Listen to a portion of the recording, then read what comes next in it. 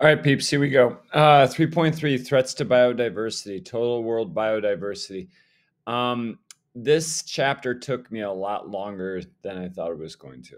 I'm just telling you that up front. So it's not a ton of pages, but they're just very dense and packed in with information. Uh, total world biodiversity. Most species are animals, live in tropics. So there's more um, biodiversity in the tropics, which is why we focus so heavily on the rainforest. Um, 50% of tropical rainforest have been cleared. The problem is also what makes them really good for biodiversity makes them great for humanity to live in. You don't have to put up with the cold and a bunch of other uh, things. So, a lot of the undiscovered species are insects, nematodes, fungi, and bacteria. You're always hearing about how the species are um, basically like, you know, um, there's like they found a new species in wherever, and it's usually in the tropics, and usually it's um like it's usually one of those species that we're talking about there. Sorry, it's early in the morning. Insects, nematodes, fungi, and bacteria. Um, I'm gonna have you look up what is a fungi. Some of you know this. Some of you have a passion for it.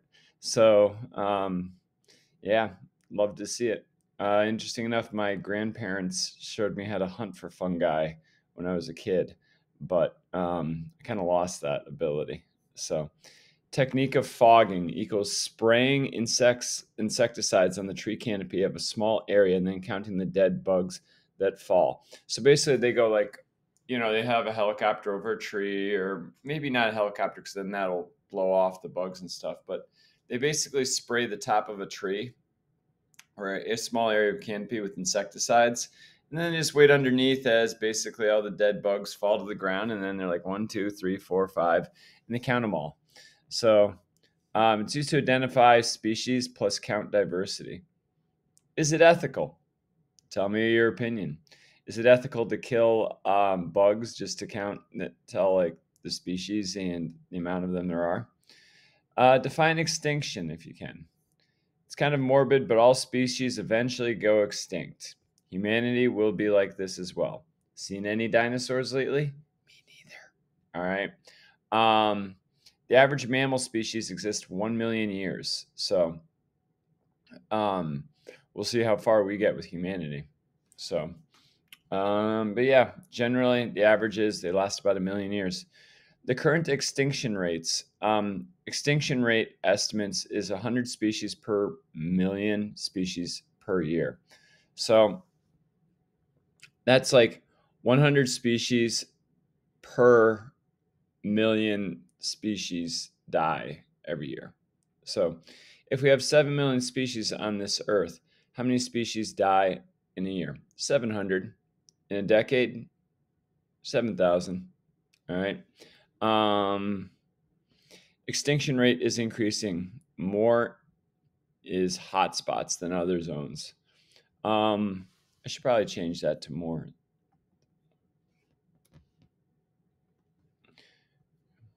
More in hotspots than other zones. I'll use proper English for that.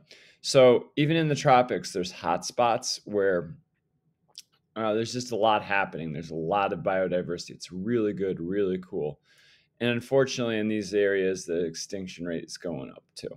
So, uh, tropical rainforest coral reefs are excellent examples of these. Animals that we hunt or are dangerous to ourselves or crops are more vulnerable. Think of it like this way tigers. If you're in India and you have to worry about your son or daughter getting eaten by a tiger or them destroying your food source, guess what? Probably going to kill Mr. Tiger. Take care of the problem. Yep. Um, we do that quite a bit with our with animals that are um, nuisance animals as well. It does not work so much with mice and like other animals, in my opinions, that are more vermin, we call them, but it's because the reproduction rates are so high. You know, so mice are pretty much nature's potato chips, though. Um, for hawks, you know, eagles, foxes, they kind of need those mice because that's their food source. Um, trouble is with habitat disappearing, extinction rates will only go up. That sentence right there, really big. As you know, like as we start getting rid of habitat, the extinction rate's only going to go one way. Estimates are that protecting 5% of the habitat could preserve 50% of the species, which is good. So if we, and I'm going to say bang for our buck, it's in the tropics. You're going to start looking tropical rainforest. You're going to looking at those hot spots. If you conserve 5% of them, you're literally going to save 50% of the species. So factors that help to maintain biodiversity. Uh, complexity of the ecosystem. The more complex it is, like you know, with like a food food web, if all it is is like uh, uh, uh, like that, man, one hit in that card deck is gonna fall right over. If you got a very broad base though, where there's a lot of different things that the next trophic level eats, and then the next trophic level eats, and then the next trophic level eats, so it's like tall and wide, very complex um, it's able to sustain different changes. So, uh, bigger food webs equal more resilient if a species is lost. Because if a species is lost, the other ones around it kind of make up for it. So, stages succession. Initially, colonization. Not many species are in there. There's very few colonizers. Um, more species come over time, though, as the soil starts getting better. Basically, in younger habitats, species are more at risk. So when you got a habitat just starting off, it's real easy to wipe out those um, populations. So or species, which is why if you're on the top of a mountain and it's kind of like rocky tundra s kind of um, why they're like don't step on the lichen and whatnot because just that habitat it's very fragile. It's not if the da- lichen is damaged, it's not likely to come back. So it's really easy to do it in. Um, limiting factors necessary raw materials for growth. Take these away and species deplete. So um, you basically are only going to be able to hang around an area as long as you survive there. What allows you to survive there is the raw materials that you need to survive. So water, food, shelter too. So if you don't have those, guess what? You ain't hanging around because you'd be dead. Um, inertia, property of an ecosystem to resist change from a disruptive force. So it's like the ability to bounce back, basically. Um, resilience, you know, inertia. So, uh, factors that lead to loss of biodiversity. Natural hazards can do this hurricane, tsunami, earthquake, volcanoes, wildfires, Hmm. Things along that nature. Interesting, but natural hazards often become natural disasters when they impact humans. So we usually don't care too much about um, natural hazards until they affect us. And then it's like, oh my God. All right. Um, for natural disasters. No one really cares about the wildfire until they tell you you got to evacuate your house. You know? Um, name two types of natural disasters. I think we just named a few there. Um, environmental disaster are caused by human activity. So, um, in fact, let's do this. Um, I'm going to add something in here. Ohio train derailment 2023. Tell me about it. And we're going to go highlight there, green. Yeah. All right. I might have it down here. Biggest cause of biodiversity loss is, um, oh, actually, I have it down here. Never mind. My fault, peeps. Right. Biggest cause of biodiversity loss is habitat loss. So that's the number one cause of like people, plants, you know, animals going extinct. If we lose our habitat to live, you lose your home, you're not going to live long. It's heavily populated areas. Habitat loss is pre- is prevalent.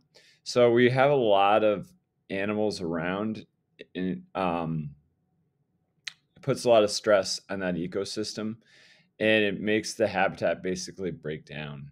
So, fragmentation of habitat uh, as large area is divided into smaller pieces by roads, town factories, fences, fields, pipelines, etc. Basically, uh, geographic barriers. So, when you have a large area for animals, but then you build a road, a highway that they can't cross, now you suddenly have like two smaller habitats, which it's when the habitat is smaller, genetic diversity, it can't really breed back and forth. So the result is that um, it just that gene pool gets weaker and weaker and weaker, and the likelihood of one or both going out is much more prevalent. So, um, yeah, fragments become isolated. Fragments can get smaller. Edges of fragments become less habitable. So as you have these fragments here, instead of it being this like big juicy center here where like animals can live without really a whole lot of impact from humans, now you have a much smaller center and you have a lot more edge. So when there's a lot more edge, there's a lot more ability for human impact to occur. So um, can have invasive uh, invasion of invasive species, which will take over quicker if it's a smaller habitat. Domestic and wild species can cross spread diseases. Yep, your pet diseases can go right on over to the wild animals, and the wild animal diseases can go right on over to the pets. So that is a problem. Uh, pollution, local uh, pesticides that drift for to neighboring areas, oil spills. So yeah, there's different types of pollution. One is local like that, where it's um, obviously, yep, it's a local problem. Um, you know, where you basically have like a dump. All right, dump the the toxins leach into the soil. All right, that is more of a local problem. Uh, as long as it doesn't enter the ground as the water, in which then can travel. Um, emissions effect is global. So here in Connecticut, we've got state emissions. Great, right? The only problem is the wind blows in from the west, and basically all those emissions from New York City come right on up into Connecticut. So we're not so much dealing with like our emissions, you know, although we are, you know, car exhaust is a big thing, but we have to deal with a lot of the car exhaust that comes from other areas, like the New York City area. So runoff, fertilizers. You ever hear the thing about poop rolls downhill? Yep. Well, guess what? It eventually hits a stream and then it runs down to the stream. And the nitrogens in the poop make it great for um, fertilizer. It also makes it great for algae blooms and for other problems as well downstream. So, what was the chemical in the 2023 Ohio de- train derailment? That's interesting. Is that a local problem? I don't think so. That tends to be more national, which is why you're getting Joe Biden out there talking about it. Mm. Yeah. Tell me what overexploitation is. Um, some would say we're I'm overexploiting you guys for doing this work. You know, asking you too much. Chainsaws to take down trees. That's an example. We used to use hand saws. Not anymore. We use chainsaws. Now we can take down trees a lot faster. Better at it. Big factory ships with sonar to catch fish. It's no longer out there just you with a rod or you with a net just casting, coming on back. Hopefully you get some fish. Uh-uh, man. We have ships with sonar. We go out there, we hunt down those big schools of fish, and we just catch them all. And we don't, some of them we don't even eat, but we catch them all anyway. All right. Humans are basically uh, too, let me fix that there, too efficient at catching and harvesting resources, food. We're literally just too dang good at it. We are like the natural dubs on the food chain. You know, just we win all the time. Um, and it's not really fair because is it still a league or like think of it as your sports leagues is it still a league if the same team wins every year the championship and the other teams just get worse and worse and worse. They keep getting blown out every game. People stop watching. So, not much in the way of competition. Um, if we're taking more than can be naturally replenished, then it's not sustainable. Basically, if we're taking in, if like more is going out than is coming in, that is not sustainable. More going out, less coming in means it's not sustainable. If you take less out and then you got more coming in, that means it's sustainable. I don't care if you're talking about an engine or if you're talking about um, food. I don't get like just anything in this world. It's input versus output. Um, tough part is determining what that that what this number is. So that's very subjective, very arbitrary, and a lot of people are going to argue about it. So, yep. Rural poverty mixed with technology and skills makes it more likely to overexploit.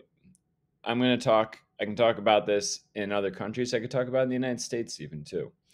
Um, rural poverty. So if you are in a third world nation and you are faced with trying to save the environment or feeding your family, guess which one you're going to do? You're going to choose survival, feeding your family, then you'll worry about the environment later. Here in the United States, um, somewhat of the same. You have a certain amount of money that you need to survive. And to if you have very limited options in your area, which can be true in rural communities, and you are faced with a mining job which will pay you well, or a logging like job that just clear cuts, you're not it's a rich man who can afford their morals. So you're going to then start chopping down trees. You're going to go mining. You're going to do whatever it takes for you to earn that economic status and be able to survive and provide for your family, which is if you start looking at economic opportunities, look at some of the poor communities in America and look at how a lot of them are rural. So, um, and of course, you ain't going down like that. So, you know, you're going to use your technology, you're going to use your skills, you're going to use chainsaw, like whatever you got to start making some money. So, introducing non-native exotic species you know sometimes it works out. Hey look sir francis drake brought back potatoes to england. All right? You could even name me like a like a dish from in, from europe that involves potatoes from every country. All right? Um, look at britain fish and chips ireland potatoes please come on um, in uh, Spain, there's tortilla, I believe. Um, in France, there's pommes frites. Yeah, I'm, i could just keep going on. All right. Uh, Germany, I think there's potato dumplings. So, yeah, it keeps going on. Oh, uh, Ireland is colcannon too. So, uh, let's see where we're at here. Oh, rubber trees from the Amazon to Southeast Asia. That works out. All right. That's um, provided a lot of economy to the area and also some biodiversity and it cuts down on transportation costs because China, Japan, they all need rubber and to get rubber from the Amazon over there, a lot of fuel expended with that. So, not really the best. Sometimes it can also be a disaster. Rhododendrons. My mother had one in her front yard. It was beautiful. Unfortunately, it comes from uh, Nepal and it now competes the native plants in Europe. So no buenos on that one.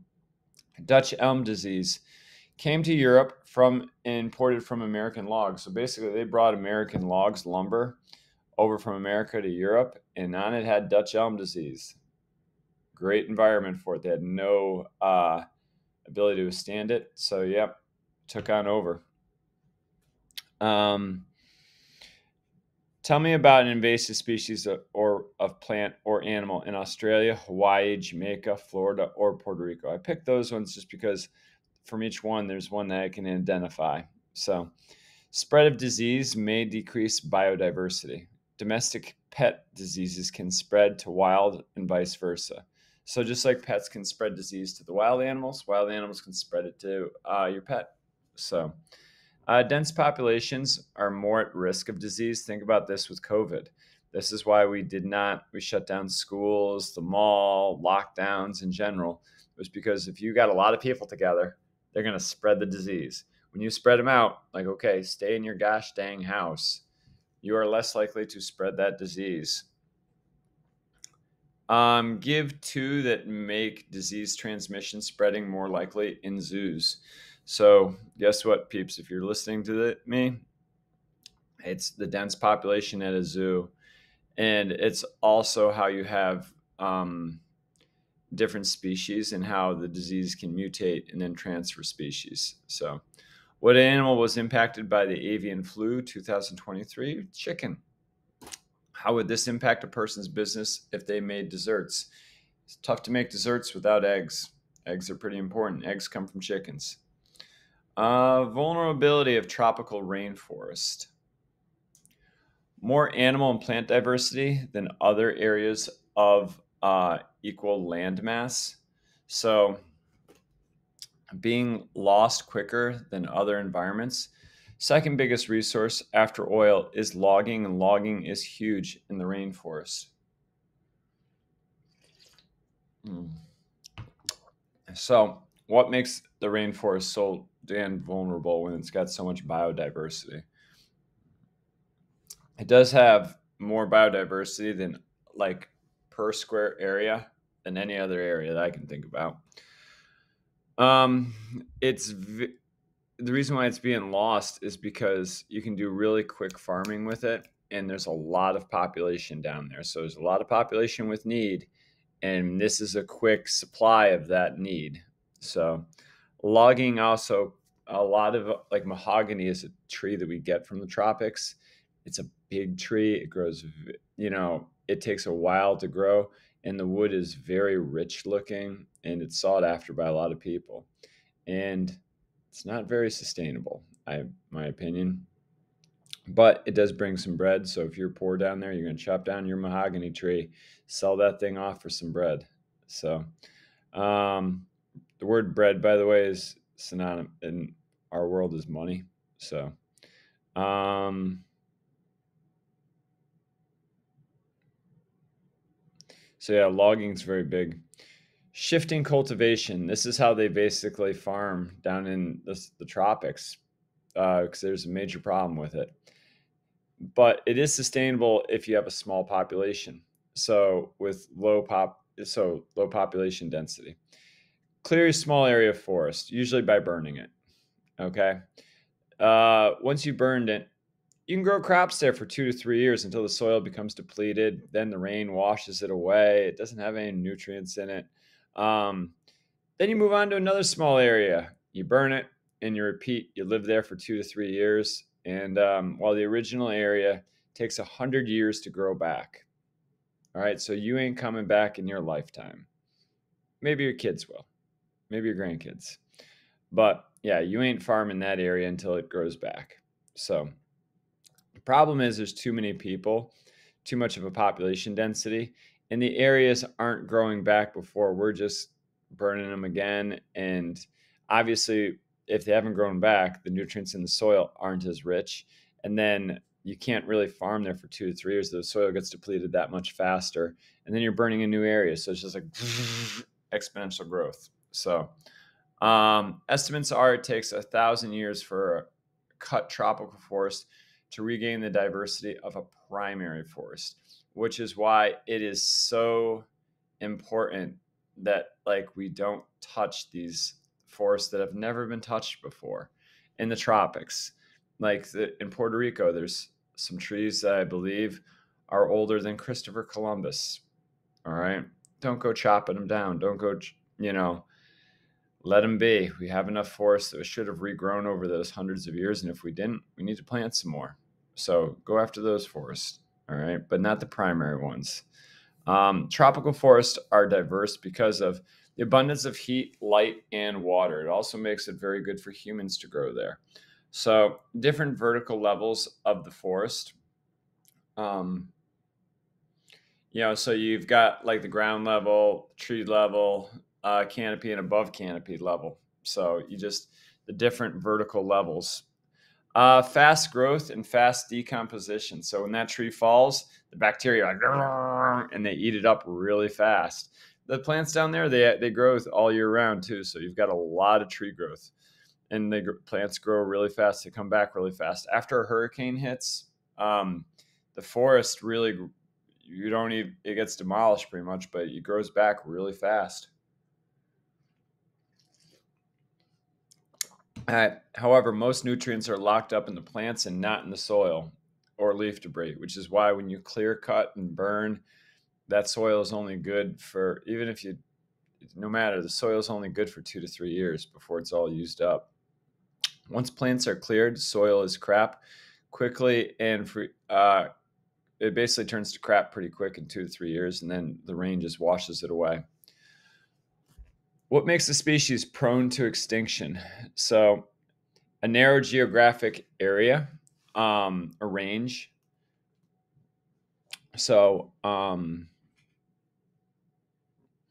species only live in one place fish in a lake drying up, or animals on an island. Those are examples of narrow geographic range or area. Small population size or declining numbers, low genetic diversity.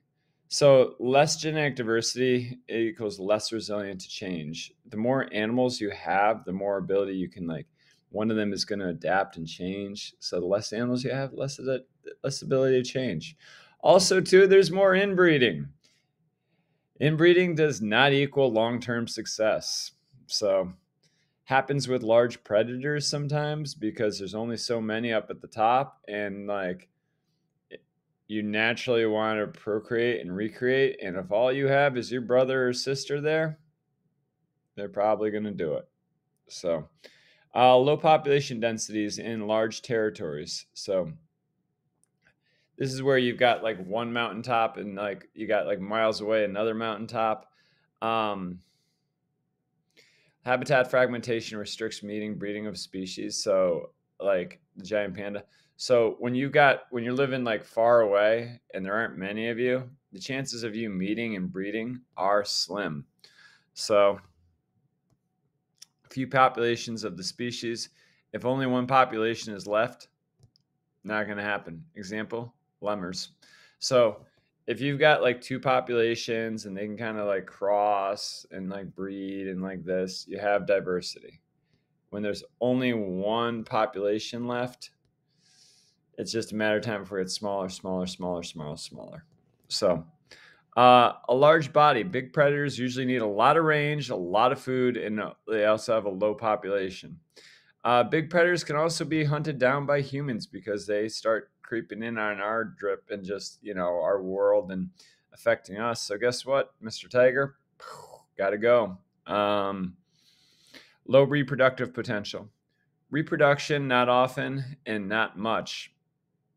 So some animals get together a lot and they reproduce a lot. That's what they do. All right. Other ones are more shy. They're like, ooh, you know, I don't have a dating app. Okay. Um, like I don't really get together with the other species, my own species. Sorry, and I uh, definitely don't get together with the uh, opposite gender of my opposite species. Uh, maybe it takes me a while to sexually mature, and uh, maybe I just don't have very many offspring. Those ones right there, low reproductive potential. All right. Um, not often, not much. Takes a long time to recover. Whales, large seabirds. So, uh, whales got to swim all over the ocean looking for a mate. All right. And when they do, they have only one or two. And then it like takes a while for the whale to sexually mature and then reproduce. So Yep, they don't bounce back too quickly. Seasonal migration migrants. These ones are kind of weird because you need two habitats to survive. If one goes down, your likelihood of survival is not good. So, journey is tough and it kills its share. You know, you try going from Canada all the way down to Central America without an, an airplane, it's going to do a number on you. So, barriers can interfere with it in the case of salmon, when we build dams, they can't get back upriver to breed. So, um, African herbivores following the rain, that's another example. of uh, seasonal migrants. Poor dispersers, ability to move, plants and flightless birds. So look, it's not the biggest and strongest that survive. It's the most adaptable. And up there with adaptation and is the ability to move, ability to shift, ability to like go in where it is good. And if you don't have that ability, the likelihood of you surviving just decreased. So specialized feeders or niche requirements. Giant panda eats bamboo in central China. So it's specialized to that area. It's like, nope, this is what I do. That's the area I live. This is my food and I'm not adapting. Guess what? makes it less likely for survival. Uh, koalas eats eucalyptus in southwestern Australia. Uh, does not have a passport, so it's not leaving Australia anytime soon. Doesn't swim, so yeah, man, you're stuck on Australia. And where are you going to find eucalyptus in Australia? Southwestern part. So that's where you're limited to. Sundew and pitcher plants. You need damp bogs. Less damp bogs we have, the less we have for pitcher plants. So Edible to humans and herding together. Ooh, as soon as you are edible to humans, watch out. Avocados. I never had one growing up. I live in uh, Northeast America. Now that we've had them, we've discovered things like guacamole. Oh my God. The, the avocado trade from Mexico is unbelievable.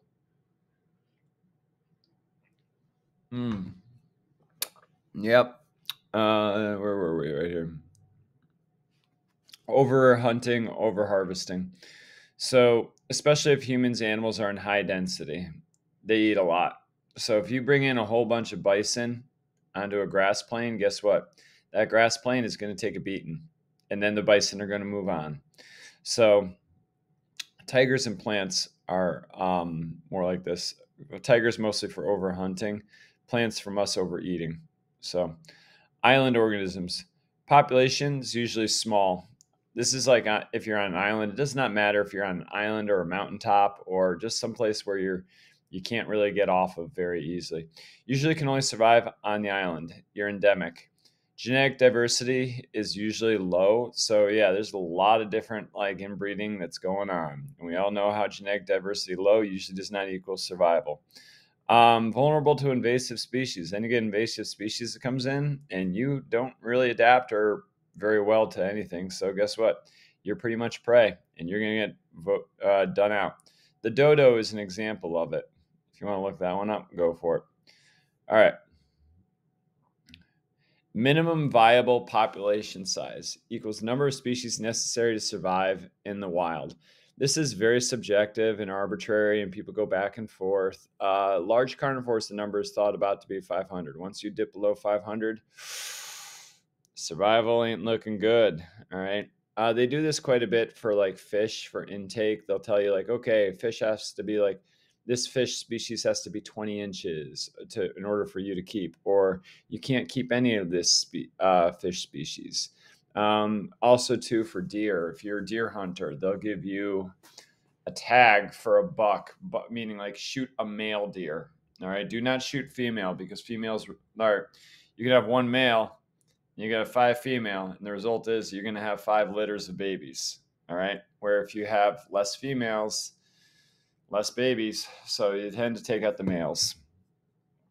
Um, the IUCN Red List, founded in 1948, maintains the Red List equals a list of threatened species.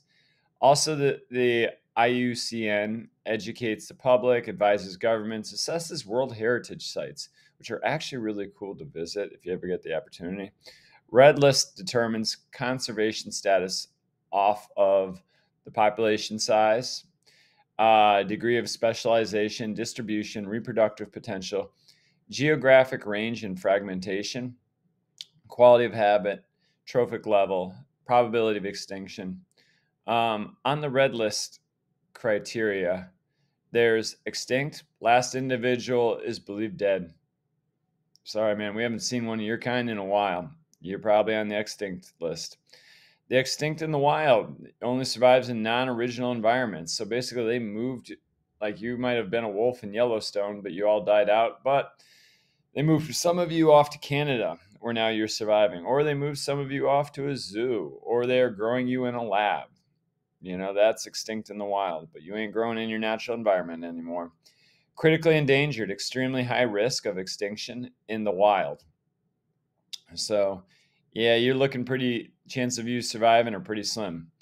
Uh, endangered, very high risk of extinction in the wild. It's still where we're really going to apply a lot of effort because we don't want you to get to the critical status. So, um, vulnerable, high risk of extinction in the wild. Um, we're concerned, big time. Um, near threatened, close to qualifying, or likely qualifying in the future. We got our eyes on you. You know, least concern, widespread and abundant. We're probably probably uh, probably harvesting you because look, buddy, you're a dime a dozen. We can use you. You're replaceable. Uh, data deficient, not enough data to really make an assessment, or non-evaluators haven't gotten around to doing it yet. So, yep, that's the different ones. So that's three three, folks. Thank you.